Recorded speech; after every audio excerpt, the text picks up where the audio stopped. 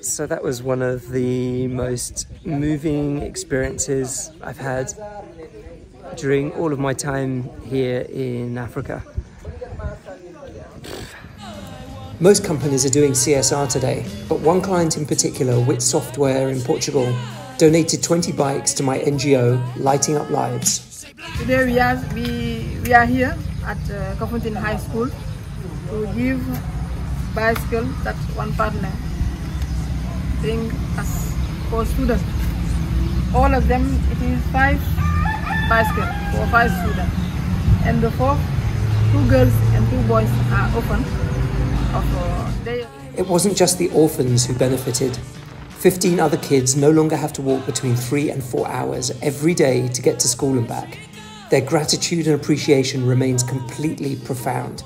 Not one of them has ever received a gift like this before. Yeah, I mean, gosh, we are so lucky in the West, we don't realize it, honestly.